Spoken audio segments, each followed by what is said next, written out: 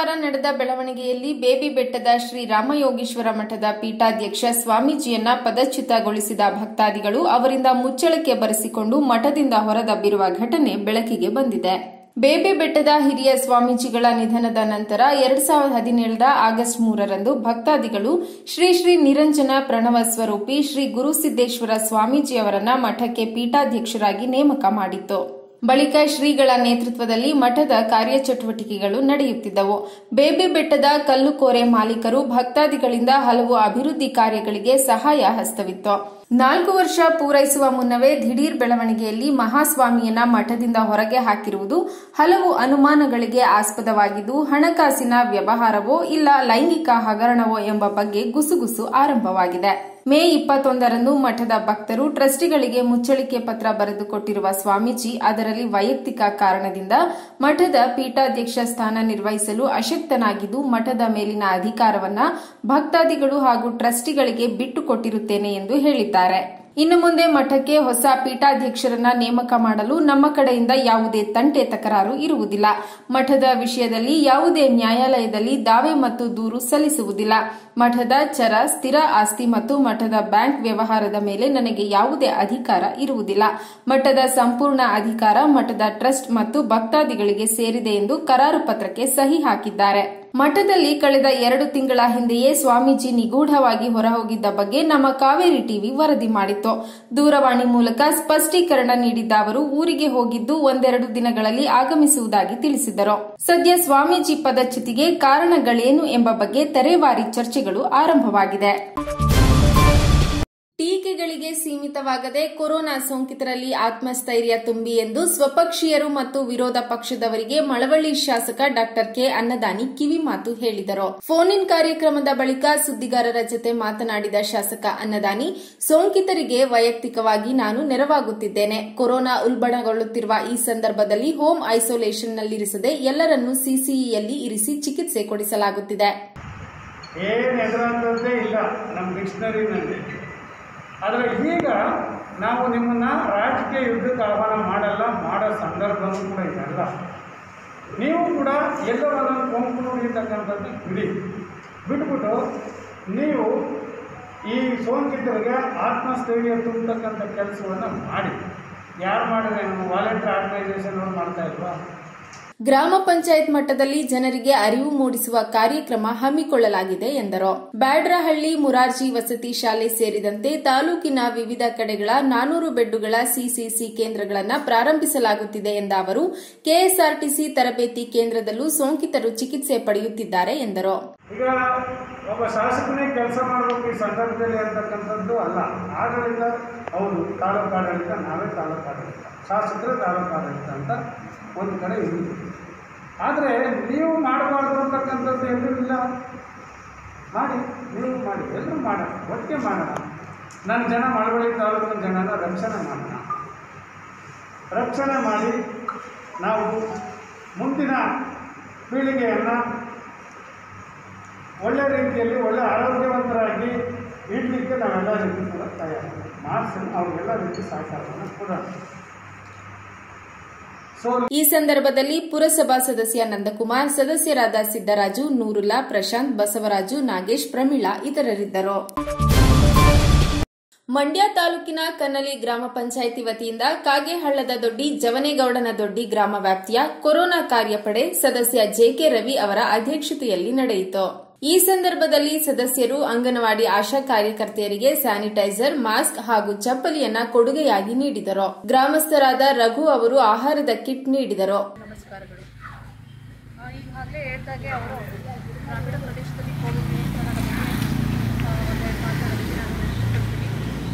ಮೊದಲಿಗೆ ನಾವು ಕೋವಿಡ್ ನಿಯಂತ್ರಣ ಮಾಡಬೇಕು ಅಂತ ಯೋಚನೆ ಮಾಡಿದಾಗ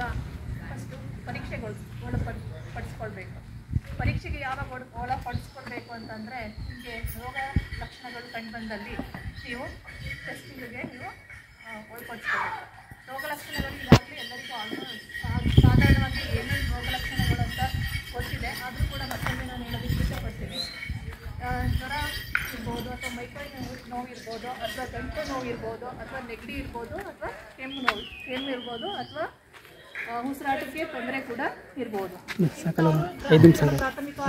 ಈ ಸಂದರ್ಭದಲ್ಲಿ ಗ್ರಾಮ ಪಂಚಾಯಿತಿ ಉಪಾಧ್ಯಕ್ಷೆ ಎಂಎ ಆಶಾ ಚಿಕ್ಕಮಾಸ್ತಿ ನಂದಿನಿ ತೇಜ ಹಾಗೂ ಕಾರ್ಯದರ್ಶಿ ಸದಾಶಿವಮೂರ್ತಿ ಹಾಜರಿದ್ದರು.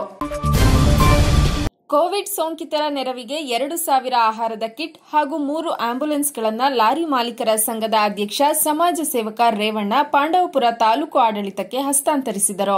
ಈ ಸಂದರ್ಭದಲ್ಲಿ ಮಾತನಾಡಿದ ಅವರು, ಜನ ಕೊರೋನಾದಿಂದ ಬಾಧಿತರಾಗುತ್ತಿರುವ ಸಂದರ್ಭದಲ್ಲಿ ಬಾಧಿತರ ನೆರವಿಗೆ ಪ್ರತಿಯೊಬ್ಬರು ನಿಲ್ಲಬೇಕು ಮತ್ತು ಕೊರೋನಾ ತೊಲಗಿಸುವ ನಿಟ್ಟಿನಲ್ಲಿ ಕೈಜೋಡಿಸಬೇಕೆಂದು ಮನವಿ ಮಾಡಿದರು. ಈ ಸಂದರ್ಭದಲ್ಲಿ ಕಾಂಗ್ರೆಸ್ ಜಿಲ್ಲಾಧ್ಯಕ್ಷ ಸಿಡಿ ಗಂಗಾಧರ್, ಮುಖಂಡರಾದ ಮಂಜುನಾಥ್, ತಹಸೀಲ್ದಾರ್ ಪ್ರಮೋದ್, ಶಿವಾನಂದ್ ಇದ್ದರು. ಚಿಕ್ಕಮಗಳೂರಿನ ಮೂಡಿಗೆರೆ ಬಳಿಯ ಕಿರಗಂದ ಗ್ರಾಮದ ದಲಿತ ಯುವಕನಿಗೆ ಮೂತ್ರ ಕುಡಿಸಿದ ಪ್ರಕರಣ ಖಂಡಿಸಿ ದಲಿತ ಸಂಘಟನೆಗಳ ಸಮನ್ವಯ ಸಮಿತಿಯಿಂದ ಮದ್ದೂರಿನ ತಾಲೂಕು ಕಚೇರಿ ಮುಂಭಾಗ ಪ್ರತಿಭಟನೆ ಮಾಡಲಾಯಿತು. ದಲಿತ ಎಂಬ ಕಾರಣಕ್ಕೆ ಸಬ್ ಇನ್ಸ್ಪೆಕ್ಟರ್ ಅರ್ಜುನ್ ಯುವಕನಿಗೆ ಮೂತ್ರ ಕುಡಿಸಿ ಅಮಾನವೀಯತೆ ಮೆರೆದಿದ್ದಾರೆ. ಇಂಥ ಹೇಯ ಕೃತ್ಯ ಮಾಡಿದ ಎಎಸ್ಐಯನ್ನ ಕೂಡಲೇ ಕೆಲಸದಿಂದ ಅಮಾನತು ಮಾಡಬೇಕು. ಪ್ರಕರಣ ನಡೆದು ಎರಡು ದಿನ ಕಳೆದರೂ ಯಾವುದೇ ಕ್ರಮ ಕೈಗೊಂಡಿಲ್ಲದಿರುವುದರ ಹಿಂದೆ ಆರೋಪಿಯನ್ನ ರಕ್ಷಿಸುವ ಹುನ್ನಾರವಿದೆ ಎಂದು ಡಿಎಸ್ಎಸ್ನ ಸೋಮನಹಳ್ಳಿ ಅಂದಾನಿ ಆಕ್ರೋಶ ವ್ಯಕ್ತಪಡಿಸಿದರು. ಸಂದರ್ಭದಲ್ಲಿ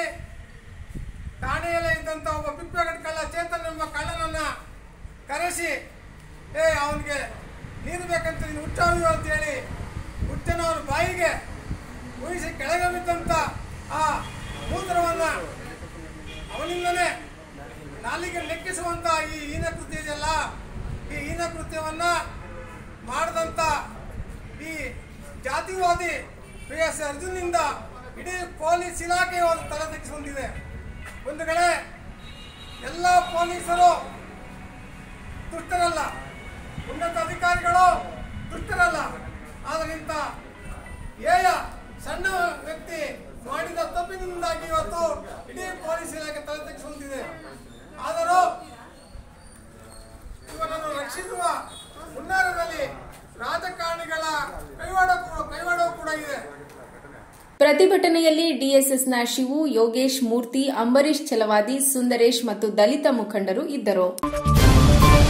ದೇಶದಲ್ಲಿ ಕೊರೋನಾ ನಿರ್ವಹಣೆಯಲ್ಲಿ ಕೇಂದ್ರ ಮತ್ತು ರಾಜ್ಯ ಬಿಜೆಪಿ ಸರ್ಕಾರ ಸಂಪೂರ್ಣ ವಿಫಲವಾಗಿದ್ದು, ಸಾವು ನೋವುಗಳಿಗೆ ಸಿಎಂ ಯಡಿಯೂರಪ್ಪ ಮತ್ತು ಪ್ರಧಾನಿ ಮೋದಿಯೇ ಕಾರಣವಾಗಿದ್ದು, ನೈತಿಕ ಹೊಣೆಯಿಂದ ಸರ್ಕಾರಕ್ಕೆ ರಾಜೀನಾಮೆ ಕೊಟ್ಟರೆ ಉತ್ತಮ ಎಂದು ಕೆಪಿಸಿಸಿ ಮಾಧ್ಯಮ ವಕ್ತಾರ ಎನ್ ಚೆಲುವರಾಯಸ್ವಾಮಿ ಗುಡುಗಿದ್ದಾರೆ. ನಾಗಮಂಗಲ ಪಟ್ಟಣದ ಬದ್ರಿಕೊಪ್ಪಲಿನಲ್ಲಿರುವ ಕೋವಿಡ್ ಕೇರ್ ಸೆಂಟರ್ಗೆ ಭೇಟಿ ನೀಡಿ ಮಾಧ್ಯಮದವರೊಂದಿಗೆ ಮಾತನಾಡಿದರು. ದೇಶದಲ್ಲಿ ಕೊರೋನಾ ನಿಯಂತ್ರಿಸುವಲ್ಲಿ ಬಿಜೆಪಿ ಸರ್ಕಾರಗಳು ವಿಫಲವಾಗಿದ್ದು, ಸರ್ಕಾರದ ಅವೈಜ್ಞಾನಿಕ ತೀರ್ಮಾನಗಳಿಂದಲೇ ಸೋಂಕು ಮತ್ತು ಸಾವು ಹೆಚ್ಚಾಗುತ್ತಿರುವುದರಿಂದ ಜನ ಕಂಗಾಲಾಗಿದ್ದಾರೆ. ಪಕ್ಕದ ರಾಜ್ಯಗಳ ಕೋವಿಡ್ ನಿರ್ವಹಣೆಯನ್ನ ನೋಡಿ ಕಲಿಯದ ಕೇಂದ್ರ ಮತ್ತು ರಾಜ್ಯ ಸರ್ಕಾರ ಗೌರವ ಇದ್ದರೆ ರಾಜೀನಾಮೆ ಕೊಡೋದು ಬಿಟ್ಟು ಯಾವುದೇ ಮಾರ್ಗವಿಲ್ಲ ಎಂದು ಆಗ್ರಹಿಸಿದರು. ಈ ಟೈಮ್ನಲ್ಲಿ ಟೀಕೆ ಮಾಡ್ತಾರೆ ಅನ್ನೋದು ಒಂದು ಬಿಟ್ಟರೆ ಕೇಂದ್ರ ಮತ್ತು ರಾಜ್ಯ ಸಂಪೂರ್ಣವಾಗಿ ಅವ್ರಿಗೇನು ಮೋದಿಗೆ ಎರಡು ಬಾರಿ ಓಟ್ ಕೊಟ್ಟರು ಇವತ್ತು ಯಡಿಯೂರಪ್ಪನವ್ರು ಸರ್ಕಾರ ಮಾಡಿದ್ದಾರೆ. ಅವರು ಗೌರವ ಇದ್ದರೆ ರಿಸೈನ್ ಮಾಡಿ ಅದು ಬಿಟ್ಟು ಬೇರೆ ದಾರಿನೇ ಇಲ್ಲ. ಇವತ್ತಿನ ಸರ್ಕಾರ ಕೋವಿಡ್ ಟೈಮ್ನಲ್ಲಿ ಪಕ್ಕದ ರಾಜ್ಯಗಳು ಮಾಡ್ತಾ ಇರ್ತಕ್ಕಂಥ ಕೋವಿಡ್ ನೈನ್ಟೀನ್ ಬಗ್ಗೆ ಅವರು ಎಚ್ಚರಿಕೆ ಇರ್ಬೋದು, ಟ್ರೀಟ್ಮೆಂಟ್ ಇರ್ಬೋದು, ಮತ್ತು ಜನರಿಗೆ ಪ್ಯಾಕೇಜ್ ಇರ್ಬೋದು, ಲಾಕ್ಡೌನ್ ಟೈಮ್ನಲ್ಲಿ ಅವ್ರು ಕೊಡ್ತಾ ಇರೋದನ್ನೆಲ್ಲ ನೋಡಿದ್ರೆ ರಿಸೈನ್ ಮಾಡ್ಬೇಕು ಬಿಟ್ರೆ ಅದು ಏನು ದಾರಿನೇ ಇಲ್ಲ. ಇನ್ನು ಮೋದಿಗೆ ದೇಶದ ಜನ ಎರಡು ಬಾರಿ ಅಧಿಕಾರ ಕೊಟ್ಟಿದ್ದು ಏನು ಮಾಡಿದ್ದಾರೆ ಎಂದು ಪ್ರಶ್ನಿಸಿದ್ದರು. ರಾಜ್ಯದ ಸಚಿವರಲ್ಲಿ ಹೊಂದಾಣಿಕೆ ಇಲ್ಲದೆ ಸರಿಯಾದ ತೀರ್ಮಾನ ತೆಗೆದುಕೊಳ್ಳಲಾಗದ ಈ ಸರ್ಕಾರದ ಲೋಪದೋಷಗಳು ಬೆಳಕಿಗೆ ಬರುತ್ತವೆ ಎಂದು ಸಿದ್ದರಾಮಯ್ಯ ಅವರ ವಿಡಿಯೋ ಕಾನ್ಫರೆನ್ಸ್ಗೆ ಸಿಎಂ ಅವಕಾಶ ನೀಡಿಲ್ಲ ಎಂದು ಆಕ್ರೋಶ ವ್ಯಕ್ತಪಡಿಸಿದರು. ಹಿಂದೆಲ್ಲ ಅಪೋಸಿಷನ್ ಲೀಡರ್ ಎಲ್ಲೋ ಬೇಕಾದ್ರೂ ಜಿಲ್ಲೆನಲ್ಲಿ ರಿವ್ಯೂ ಮಾಡುವಂಥ ಪದ್ಧತಿ ಇತ್ತು. ಅದು ಸರ್ಕಾರಕ್ಕೆ ಇನ್ನೂ ಮಾರ್ಗದರ್ಶನ ಕೊಟ್ಟಂಗೆ. ಸರ್ಕಾರ ಎಲ್ಲೆಲ್ಲಿ ಫೇಲ್ ಆಗ್ತದೋ, ಎಲ್ಲೆಲ್ಲಿ ಸಮಸ್ಯೆ ಆಗುತ್ತೋ ಅದನ್ನು ಸರಿಪಡಿಸೋದಕ್ಕೆ ಒಂದು ಅವಕಾಶ ಆಗುತ್ತೆ. ಖುಷಿ ಪಟ್ಟು ಇವರು ಒಬ್ಬ ಅಪೋಸಿಷನ್ ಲೀಡ್ರು ರಿವ್ಯೂ ಮಾಡ್ತಾರೆ, ಅಥವಾ ಎಲ್ಲ ಹೋಗಿ ಮಾಹಿತಿ ತಗೋತಾರೆ ಇವತ್ತು ಸಜೆಸ್ಟ್ ಮಾಡ್ತಾರೆ ಅಂತ ಅಂದರೆ ಅದಕ್ಕೆ ಖಂಡಿತ ಅದನ್ನು ಅಟೆಂಡ್ ಮಾಡಿ ಅಂತ ಒಬ್ಬ ಮುಖ್ಯಮಂತ್ರಿಯವರು ಆರ್ಡರ್ ಮಾಡಬೇಕಾಗಿತ್ತು. ಅವ್ರು ಅವಾಯ್ಡ್ ಮಾಡ್ತಾರೆ ಅಂತಂದರೆ ಇವರು ತಪ್ಪನ್ನು ಎಲ್ಲಿ ಜನರಿಗೆ ತಲುಪುತ್ತೋ ಅನ್ನೋ ಭಯದಿಂದ ಸಿದ್ದರಾಮಯ್ಯನಂತ ದಕ್ಷ ಒಬ್ಬ ಅಧಿಕಾರಿ, ಒಬ್ಬ ಜಿಲ್ಲಾಧಿಕಾರಿಗಳ ಜೊತೆ ಚರ್ಚೆ ಮಾಡಿದ್ರೆ ಸಾಕಷ್ಟು ಈ ತಪ್ಪುಗಳು ಹೊರಗಡೆ ಬರುತ್ತೆ ಅನ್ನೋ ಕಾರಣಕ್ಕೋಸ್ಕರ ಅವಾಯ್ಡ್ ಮಾಡ್ತಾರೆ.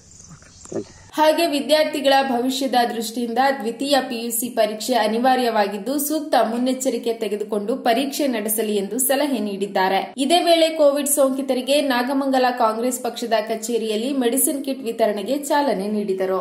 ಸರ್ಕಾರ ಕರೆಕ್ಟಾಗಿ ಏನಾದ್ರು ಒಂದು ತೀರ್ಮಾನ ತಗೊಂಡು ಜಿಲ್ಲಾಡಳಿತಕ್ಕೆ ನಿರ್ದೇಶನ ಕೊಟ್ಟು ಮಾಡಿದಿದ್ರೆ ಇವತ್ತು ಈ ಮತದ ಸ್ಪ್ರೆಡ್ ಆಗ್ತಾನೆ ಇರಲಿಲ್ಲ ಇವತ್ತು ಇಷ್ಟೆಲ್ಲ ಜನ ಏನಾದ್ರು ಸಾವಾಗಿದ್ದಾರೆ ಇಷ್ಟೊಂದು ಜನ ನೋವನ್ನ ಅನುಭವಿಸ್ತಾ ಇದ್ದಾರೆ ಅಂದರೆ ಇದಕ್ಕೆ ಪೂರ್ಣ ಪ್ರಮಾಣದಲ್ಲಿ ಸರ್ಕಾರನೇ ಅದರಿಂದ ಇವರು ವೈಫಲ್ಯತೆ. ಮಂಡ್ಯ ಜಿಲ್ಲೆಗೆ ಅಜಿಂ ಪ್ರೇಮ್ಜಿ ಫೌಂಡೇಶನ್ ವತಿಯಿಂದ ಐವತ್ತು ಜಂಬೋ ಸಿಲಿಂಡರ್ ಬಂದಿದ್ದು ಇದರಿಂದ ಸಾರ್ವಜನಿಕರಿಗೆ ತುಂಬಾ ಅನುಕೂಲವಾಗಲಿದೆ ಎಂದು ಜಿಲ್ಲಾಧಿಕಾರಿ ಎಸ್ ಅಶ್ವತಿ ಹೇಳಿದರು. ಕೊಡೋದಕ್ಕೆ ಒಂದು ಪ್ರಪೋಸಲ್ ಕಳಿಸಿದ್ದೀವಿ ಅದು ನಂತರದ ದಿನಗಳಲ್ಲಿ ಬಂದರೆ ನಮ್ಮ ಜಿಲ್ಲೆಗೆ ಎಲ್ಲ ಜನಕ್ಕೆ ಅನುಕೂಲ ಆಗೋ ರೀತಿಯಲ್ಲಿ ಒಂದು ಯೋಚನೆ ಮಾಡಿದ್ವಿ. ಆ ಪ್ರಪೋಸಲ್ಲು ಜಿಲ್ಲಾ ನಮ್ಮ ಚೀಫ್ ಎಕ್ಸಿಕ್ಯೂಟಿವ್ ಆಫೀಸರ್ ಜಿಲ್ಲಾ ಪಂಚಾಯತ್ರಿಂದ ಒಂದು ಹತ್ತು ಸಾವಿರಕ್ಕೆ ಇಟ್ಟಿದ್ದು ಬೇಡಿಕೆ ಬಂದಿತ್ತು. ಸೊ ಕಳಿಸಿದ್ದೀವಿ ಅದು ಎಷ್ಟು ಅಪ್ರೂವಲ್ ಸಿಗುತ್ತೆ ಅಂತ ಇನ್ನೊಂದು ಎರಡು ದಿನದಲ್ಲಿ ಗೊತ್ತಾಗುತ್ತೆ. ಮಂಡ್ಯ ಜಿಲ್ಲೆಯಲ್ಲಿ ಹೌದು. ಮಂಡ್ಯ ಜಿಲ್ಲೆ ಎಲ್ಲ ತಾಲೂಕುಗಳಿಗೂ ಅದು ಪೂರೈಸೋದಂತ ನಮ್ಮ B C M district officer Somashekhar sir ಅವರು ಎಲ್ಲ ಒಂದು ಅದನ್ನು ಬೇಡಿಕೆ ನಮಗೆ ಇದನ್ನು ಮಾಡಿದರು. ಸೊ ಅವ್ರ ಮೂಲಕ ನಾವೆಲ್ಲ ಅದನ್ನು ಮತ್ತೆ ವಿತರಣೆ ಮಾಡುವಂಥದ್ದು ಕೂಡ ಒಂದು ಯೋಚನೆ ಮಾಡಿದ್ವಿ ಈಗ ಎಷ್ಟು ಸಿಲಿಂಡರ್ಸ್ ಕೊಟ್ಟಿದ್ದೀವಿ ಏನು ಹೇಳಿ? ಈಗ ಎಷ್ಟು ಸಿಲಿಂಡರ್ಸ್ ಕೊಟ್ಟಿದ್ದಾರೆ? ಈಗ ಐವತ್ತು ಸಿಲಿಂಡರ್ಸನ್ನು ವಿಪ್ರೋ ಸಂಸ್ಥೆಯ ಒಂದು ಎಂಪ್ಲಾಯೀಸ್ ಮೂಲಕ ಈಗ ಕೊಡ್ತಾ ಇದ್ದಾರೆ ನಿಮ್ಮ ಹೆಸರು? ಶಶಿಧರ್. ಏನಾಗಿದೆ? ನಾನು ಸಂಪನ್ಮೂಲ ವ್ಯಕ್ತಿ ಇಲ್ಲಿ ಅಜಿಂ ಪ್ರೇಮ್ಜಿ ಫೌಂಡೇಶನ್ ಜಿಲ್ಲಾ ಸಂಸ್ಥೆ ಮಂಡ್ಯ. ಜಿಲ್ಲಾಧಿಕಾರಿ ಕಚೇರಿ ಮುಂಭಾಗ ವಿಪ್ರೋ ಎಂಪ್ಲಾಯೀಸ್ ಅಸೋಸಿಯೇಷನ್ ವತಿಯಿಂದ ನೀಡಿದ ಜಂಬೋ ಸಿಲಿಂಡರ್ಗಳನ್ನು ಸ್ವೀಕರಿಸಿ ಮಾತನಾಡಿದ ಅವರು ವಿಪ್ರೋ ಸಂಸ್ಥೆ ವತಿಯಿಂದ ಕೋವಿಡ್ ನೈನ್ಟೀನ್ ಸಂಬಂಧ ಮುಂದಿನ ದಿನಗಳಲ್ಲಿ ಆಹಾರ ಕಿಟ್ ಇನ್ನಿತರ ವ್ಯವಸ್ಥೆಗೆ ಕ್ರಮ ವಹಿಸಿದ್ದಾರೆ. ಈ ನಿಟ್ಟಿನಲ್ಲಿ ಜಿಲ್ಲೆಗೆ ಸೌಲಭ್ಯಗಳನ್ನು ನೀಡಲು ಮುಂದೆ ಬಂದಿರುವ ಸಂಸ್ಥೆಯ ನಡೆ ಸ್ವಾಗತಾರ್ಹ ಎಂದರು. ಪ್ರೇಮ್ಜಿ ಇವತ್ತು ಐವತ್ತು ಜಂಬೋ ಸಿಲಿಂಡರ್ಸು ಮಂಡ್ಯ ಜಿಲ್ಲಾ ಆಡಳಿತಕ್ಕೆ ಹ್ಯಾಂಡ್ ಓವರ್ ಮಾಡಲಾಗಿದೆ. ಈ ಸಂದರ್ಭದಲ್ಲಿ ಸಾರ್ವಜನಿಕರಿಗೆ ಇದು ತುಂಬ ಅನುಕೂಲವಾಗುತ್ತದೆ. ಇನ್ನು ಮುಂದಿನ ದಿನಗಳಲ್ಲಿ ಹಾಸಿನ ಪ್ರೇಮ್ ಜಿ ಫೌಂಡೇಶನ್ ಅಂತ ಬೇರೆ ಎಕ್ವಿಪ್ಮೆಂಟ್ಸ್ ಹಾಗೂ ಫುಡ್ ಕಿಟ್ಸ್ ಕೂಡ ಅವರು ವಿತರಣೆ ಮಾಡ್ತಾರೆ. ಜಿಲ್ಲಾ, ಮಂಡ್ಯ ಜಿಲ್ಲಾ ಪರವಾಗಿ ಎಲ್ಲ ಜನರ ಪರವಾಗಿ ನಾನು ಅವ್ರಿಗೆ ಥ್ಯಾಂಕ್ಸ್ ಟೋಟಲ್ ಎಷ್ಟು ಸಿಲಿಂಡರ್ ಫಿಫ್ಟಿ ಫಿಫ್ಟಿ ಅಲ್ಲ ಓಕೆ ಟೋಟಲ್ ಡಿಸ್ಟಿಕ್ ಇಲ್ಲಿವರೆಗೆ ಎಷ್ಟು ಸಿಲಿಂಡರ್ ಟೋಟಲ್ ನಮ್ಮಲ್ಲಿ ಏಯ್ಟ್ ಹಂಡ್ರೆಡ್ ಆ್ಯಂಡ್ ಫಿಫ್ಟಿ ಇದೆ ಆಲ್ಮೋಸ್ಟ್ ಈಗ ಅಂದರೆ ದಾನಿಗಳು ನೆರವು ಇಲ್ಲ ನೀಡಿಲ್ಲ ದಾನಿಗಳು ಅಷ್ಟೇ ಇಲ್ಲ ಎಲ್ಲ ಸೇರಿ ಹೇಳ್ತಾ ಇದ್ದೀವಿ. ಒಂದು ನಿಮಿಷ ಈ ಸಂದರ್ಭದಲ್ಲಿ ಹಿಂದುಳಿದ ವರ್ಗಗಳ ಕಲ್ಯಾಣ ಇಲಾಖೆಯ ಜಿಲ್ಲಾ ಅಧಿಕಾರಿ ಸೋಮಶೇಖರ್ ಜಿಎಸ್ ಆರೋಗ್ಯಾಧಿಕಾರಿ ಡಾಕ್ಟರ್ ಮಂಚೇಗೌಡ ಹಾಗೂ ಮತ್ತಿತರರು ಉಪಸ್ಥಿತರಿದ್ದರು. ಕೊರೋನಾ ಪೀಡೆ ದೇಶವನ್ನ, ಹಳ್ಳಿಗಳನ್ನ ಬಹುವಾಗಿ ಕಾಡುತ್ತಿದೆ. ಅದೀಗ ಮಾನವೀಯತೆ, ಮನುಷ್ಯ ಸಂಬಂಧಗಳನ್ನ ದೂರ ಮಾಡುತ್ತಿರುವ ಘಟನೆಗಳು ನಗರ ಪಟ್ಟಣಗಳಲ್ಲಿ ಮಾಮೂಲಾಗುತ್ತಿವೆ. ಇಂತಹ ಸಂದರ್ಭದಲ್ಲಿ ಮಾನವೀಯತೆಯ ತೊಟ್ಟಿಲುಗಳಾಗಿರುವ ಹಳ್ಳಿಗಳಲ್ಲಿ ಮನುಷ್ಯ ಧರ್ಮ ಜೀವಂತವಾಗಿರುವ ಉದಾಹರಣೆಗಳು ಸಾಕಷ್ಟಿವೆ. ಇದಕ್ಕೊಂದು ಸಣ್ಣ ಉದಾಹರಣೆ. ಮಂಡ್ಯ ಜಿಲ್ಲೆ ಮಳವಳ್ಳಿ ತಾಲೂಕಿನ ನೆಲಮಾಕನಹಳ್ಳಿ ಗ್ರಾಮ. ನೆಲಮಾಕನಹಳ್ಳಿಯಲ್ಲಿ ಕೊರೋನಾ ಕಾರಣದಿಂದ ಊರಿನ ವ್ಯಕ್ತಿಯೊಬ್ಬರು ಮೃತಪಟ್ಟಾಗ ಅಕ್ಕಪಕ್ಕದ ಮನೆಯವರು ಮತ್ತು ಊರಿನ ಕೆಲ ಜನ ಅಂತ್ಯ ಸಂಸ್ಕಾರ ಮಾಡಲು ಹಿಂಜರಿಯುತ್ತಾರೆ. ಆದರೆ ಊರಿನ ಸಮಾಜಮುಖಿ ಯುವಕರಾದ ಭರತ್ ರಾಜ್ ಎನ್ಬಿ ಕೃಷ್ಣ, ರಘುನಾಥ್, ವಿವೇಕಾನಂದ ಸೇರಿದಂತೆ ಹಲ ಯುವಕರು ಕೋವಿಡ್ ನಿಯಮಾನುಸಾರ ತಾವೇ ಮೃತನ ಅಂತ್ಯ ಸಂಸ್ಕಾರ ಮಾಡಿ ಮಾದರಿಯಾಗುತ್ತಾರೆ. ಇದನ್ನು ಮಾನವೀಯತೆ ಎನ್ನಲಾಗುತ್ತದೆ. ಕಾಮಗಾರಿ ಲೋಪದ ಕಾರಣದಿಂದ ಉದ್ಘಾಟನೆಯಾಗದೇ ಇದ್ದ ಇಂದಿರಾ ಕ್ಯಾಂಟೀನ್ ಅನ್ನ ಮಂಡ್ಯ ಜಿಲ್ಲಾ ಉಸ್ತುವಾರಿ ಸಚಿವ ನಾರಾಯಣಗೌಡ ಕೆಆರ್ಪೇಟೆಯಲ್ಲಿಂದು ಉದ್ಘಾಟಿಸಿದರು. ಕಾಮಗಾರಿ ಪೂರ್ಣವಾದ ನಂತರ ಉದ್ಘಾಟಿಸಿ ಮಾತನಾಡಿದ ಸಚಿವರು, ಬಡವರಿಗೆ ಗುಣಮಟ್ಟದ ಆಹಾರವನ್ನ ಟೆಂಡರುದಾರರು ಪೂರೈಸಬೇಕು ಮತ್ತು ನಿಖರತೆಯಲ್ಲಿ ಜನರಿಗೆ ವಂಚಿಸಬಾರದು. ಇಂತಹ ಪ್ರಕರಣಗಳು ಬೆಳಕಿಗೆ ಬಂದರೆ ಲೈಸೆನ್ಸ್ ರದ್ದು ಮಾಡಲಾಗುವುದು ಎಂದು ಎಚ್ಚರಿಸಿದ ಸಚಿವರು, ಪುರಸಭಾ ಅಧ್ಯಕ್ಷರು ಮತ್ತು ಅಧಿಕಾರಿಗಳು ಈ ಬಗ್ಗೆ ನಿಗಾ ವಹಿಸಬೇಕು ಎಂದರು. ಕೊರೋನಾ ಬಾಧಿಸುತ್ತಿರುವ ಹಿನ್ನೆಲೆಯಲ್ಲಿ ಇಂದಿರಾ ಕ್ಯಾಂಟೀನ್ ಮೂಲಕ ಹಸಿದವರಿಗೆ ಅನ್ನ ಕೊಡುವ ಕಾರ್ಯಕ್ರಮಕ್ಕೆ ರಾಜ್ಯ ಸರ್ಕಾರ ಚಾಲನೆ ನೀಡಿತ್ತು. ಕಾರ್ಯಕ್ರಮದಲ್ಲಿ ತಹಸೀಲ್ದಾರ್ ಶಿವಮೂರ್ತಿ, ಪುರಸಭಾ ಅಧ್ಯಕ್ಷೆ ಮಹಾದೇವಿ, ಬಿಜೆಪಿಯ ವಿಜಯಕುಮಾರ್, ಮೂಡಾ ಅಧ್ಯಕ್ಷ ಶ್ರೀನಿವಾಸ್ ಸೇರಿದಂತೆ ಅಧಿಕಾರಿಗಳು ಇದ್ದರು. ಲಾಕ್ಡೌನ್ ಹಿನ್ನೆಲೆಯಲ್ಲಿ ಪೊಲೀಸರು ನಡೆಸುತ್ತಿರುವ ಕಾರ್ಯಾಚರಣೆಯಲ್ಲಿ ಸೋಮವಾರ ಮಂಡ್ಯ ಜಿಲ್ಲೆಯಲ್ಲಿ ಮೂವತ್ತೊಂದು ಸಾವಿರದ ಇನ್ನೂರು ರೂಪಾಯಿ ದಂಡ ವಸೂಲಿ ಮಾಡಿದ್ದಾರೆ. ಇನ್ನೂರ ಹತ್ತೊಂಬತ್ತು ಮಾಸ್ಕ್ ಧರಿಸದ ಮತ್ತು ತೊಂಬತ್ಮೂರು ಸಾಮಾಜಿಕ ಅಂತರ ಕಾಪಾಡದ ಪ್ರಕರಣದಲ್ಲಿ ದಂಡ ವಸೂಲಿ ಮಾಡಿ ನಿಯಮ ಉಲ್ಲಂಘಿಸಿದ ಮೂವತ್ತೆರಡು ಬೈಕ್ಗಳು ಹಾಗೂ ನಾಲ್ಕು ನಾಲ್ಕು ಚಕ್ರದ ವಾಹನ ಜಪ್ತಿ ಮಾಡಲಾಗಿದೆ. ರಾಷ್ಟ್ರೀಯ ವಿಪತ್ತು ನಿರ್ವಹಣಾ ಕಾಯ್ದೆ ಉಲ್ಲಂಘನೆ ಸಂಬಂಧ ಮೂರು ಪ್ರಕರಣದಲ್ಲಿ ಮೂವರನ್ನ ಬಂಧಿಸಲಾಗಿದೆ ಎಂದು ಎಸ್ಪಿ ಕಚೇರಿ ಪ್ರಕಟಣೆಯಲ್ಲಿ ತಿಳಿಸಿದೆ. ಜನತಾ ಶಿಕ್ಷಣ ಟ್ರಸ್ಟ್ನ ಸಮೂಹ ಸಂಸ್ಥೆಗಳ ನೌಕರರ ವತಿಯಿಂದ ಮಂಡ್ಯ ಜಿಲ್ಲಾಸ್ಪತ್ರೆಗೆ ಬಹು ಉಪಯೋಗಿ ಹತ್ತು ಲಕ್ಷದ ಎಂಬತ್ತು ಸಾವಿರ ರೂಪಾಯಿ ವೆಚ್ಚದ ಇಪ್ಪತ್ತು ಐಸಿಯು ಮಾನಿಟರ್ಗಳನ್ನು ಅಧ್ಯಕ್ಷ ಕೆಎಸ್ ವಿಜಯ್ ಆನಂದ್ ಅವರು ಮಿಮ್ಸ್ ನಿರ್ದೇಶಕ ಡಾ ಹರೀಶ್ ಅವರಿಗೆ ಹಸ್ತಾಂತರಿಸಿದರು. ಮಂಡ್ಯ ಜಿಲ್ಲೆಯಲ್ಲಿ ಸೋಮವಾರ ಎಂಟುನೂರ ಎಂಬತ್ತೊಂಬತ್ತು ಮಂದಿಗೆ ಕೋವಿಡ್ ವೈರಸ್ ಸೋಂಕು ದೃಢಪಟ್ಟಿದ್ದು, ಎಂಟುನೂರ ತೊಂಬತ್ನಾಲ್ಕು ಮಂದಿ ಗುಣಮುಖರಾಗಿ ತೆರಳಿದ್ದಾರೆ. ಇಬ್ಬರು ಪುರುಷರು ಹಾಗೂ ಇಬ್ಬರು ಮಹಿಳೆಯರು ಸೇರಿದಂತೆ ನಾಲ್ಕು ಮಂದಿ ಸಾವನ್ನಪ್ಪಿರುವುದಾಗಿ ಆರೋಗ್ಯ ಇಲಾಖೆ ತಿಳಿಸಿದೆ. ಆರುನೂರ ಒಂಬತ್ತು ರ್ಯಾಪಿಡ್ ಪರೀಕ್ಷೆ, ಮೂರು ಸಾವಿರದ ನಾನೂರ ಐವತ್ತೆರಡು ಆರ್ಟಿಪಿಸಿಆರ್ ಸೇರಿದಂತೆ ನಾಲ್ಕು ಸಾವಿರದ ಅರವತ್ತೊಂದು ಪರೀಕ್ಷೆ ನಡೆಸಲಾಗಿದೆ. ಮಂಡ್ಯ ತಾಲೂಕಿನಲ್ಲಿ ನೂರ ಎಪ್ಪತ್ತೈದು, ಮದ್ದೂರು ನೂರ ಹದಿಮೂರು, ಮಳವಳ್ಳಿ ನೂರ ಹತ್ತೊಂಬತ್ತು, ಪಾಂಡವಪುರ ತೊಂಬತ್ತು, ಶ್ರೀರಂಗಪಟ್ಟಣ ನೂರ ತೊಂಬತ್ತು, ಕೆಆರ್ಪೇಟೆ ನೂರ ಮೂವತ್ತೊಂಬತ್ತು, ನಾಗಮಂಗಲ ಐವತ್ತಾರು ಹಾಗೂ ಹೊರ ಜಿಲ್ಲೆಯ ಏಳು ಪ್ರಕರಣಗಳು ದಾಖಲಾಗಿವೆ. ಜಿಲ್ಲೆಯ ಒಟ್ಟು ಸಕ್ರಿಯ ಪ್ರಕರಣಗಳು ಐದು ಸಾವಿರದ ಎಂಟುನೂರ ನಾಲ್ಕು ಆಗಿದೆ. ಸೋಂಕಿತರಲ್ಲಿ ಆರುನೂರ ಮೂವತ್ತು ಮಂದಿ ಸರ್ಕಾರಿ ಆಸ್ಪತ್ರೆ, ನೂರ ಅರವತ್ತೊಂದು ಮಂದಿ ಖಾಸಗಿ ಆಸ್ಪತ್ರೆ ಹಾಗೂ ಕೋವಿಡ್ ಕೇರ್ ಸೆಂಟರ್ನಲ್ಲಿ ಒಂದು ಸಾವಿರದ ನೂರ ಆರು ಮಂದಿ ಮತ್ತು ಮೂರು ಸಾವಿರದ ಒಂಬೈನೂರ ಏಳು ಮಂದಿ ಮನೆಯಲ್ಲೇ ಚಿಕಿತ್ಸೆ ಪಡೆಯುತ್ತಿದ್ದಾರೆ. ಈ ಮೂಲಕ ಒಟ್ಟು ಪ್ರಕರಣಗಳ ಸಂಖ್ಯೆ ಐವತ್ತಾರು ಸಾವಿರದ ಮುನ್ನೂರ ಎಪ್ಪತ್ತಾರು ಹಾಗೂ ಗುಣಮುಖರಾದವರ ಸಂಖ್ಯೆ ಐವತ್ತು ಸಾವಿರದ ನೂರ ಐವತ್ತೈದಕ್ಕೆ ಏರಿಕೆಯಾಗಿದೆ.